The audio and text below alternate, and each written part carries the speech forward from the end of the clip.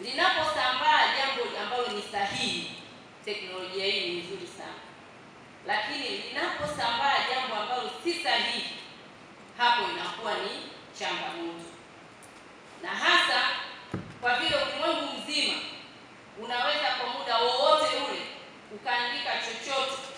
Unakuta wenzetu Marekani wao ukiwa mchana, sisi tumelala.